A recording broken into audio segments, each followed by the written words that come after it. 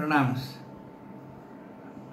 I am informed by the singing maestro Dr. Trivandrum Krishna Kumar, who is a disciple of Dr. Balamurali Krishna, that a channel totally dedicated to the musical works of Dr. Balamurali Krishna has been on ongoing, is on online.